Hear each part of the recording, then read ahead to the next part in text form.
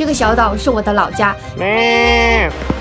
大陆离台湾最近的有人居住的小岛，距离台湾新竹县仅六十八海里或者一百二十六公里。聊了一晚上的阴间话题，海岛的早晨竟是阴雾的。刚刷完牙，老爸就买回了新鲜的海鲜。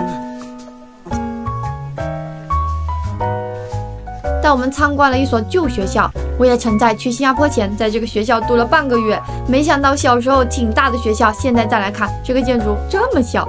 铁门外则是山羊妈妈和她的小孩，小羊羔在妈妈的庇护下羞羞答答，像极了刚开学的小朋友们。除了学校的山羊，岛上还有井边的鸡、鲍鱼宽上的猫和人一样大但温顺的狗，等着被晒干的粉红虾。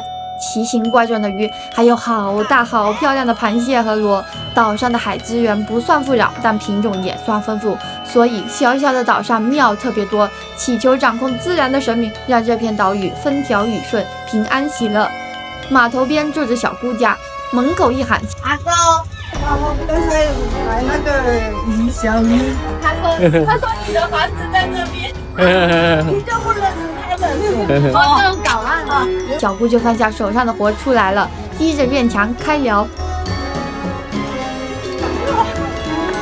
没多久，老爸也带着三个加起来不到十岁的侄女来了。于是我们一行人跟取经似的，又晃晃荡荡的走起了。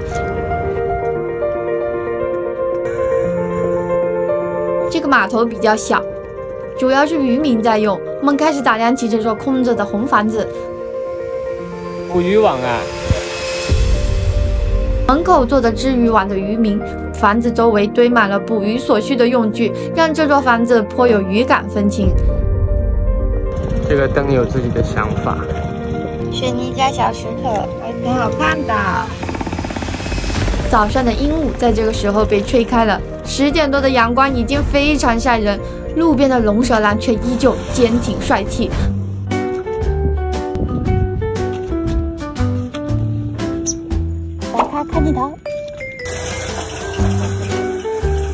割绳子啊！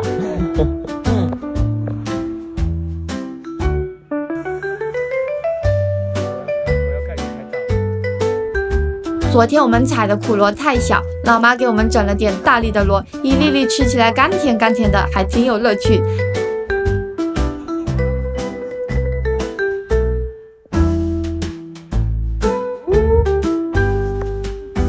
小姑子送了我们一只不知名的鱼，说是买不到，吃起来肉质劲道，很受本地人欢迎。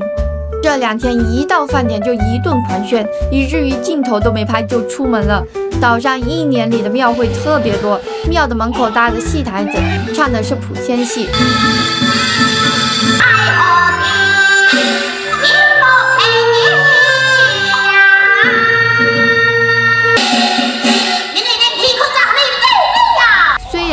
一句听不懂，但是现在有电子屏幕真是贴心，就算是看热闹也得让我们看懂。一进庙就碰上在庙会帮忙的大伯，十只十只十支。于是我们一人十支香，流程就走起来了。没想到庙里除了有电子屏幕，还有电子点香器，真是高级。啊！哇，你买的大了。哎，在在，我买两个。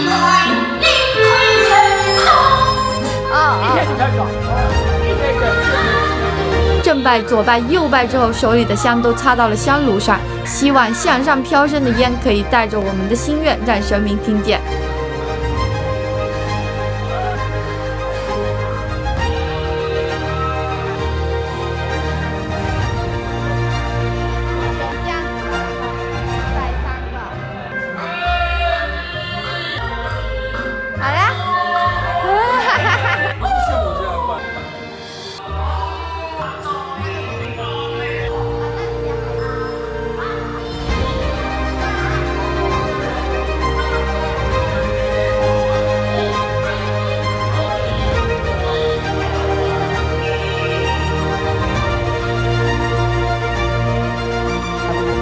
久没见的小岛，给了我们许多新奇的发现，既是熟悉又是新鲜的小岛生活。下期再续，朋友们，拜拜。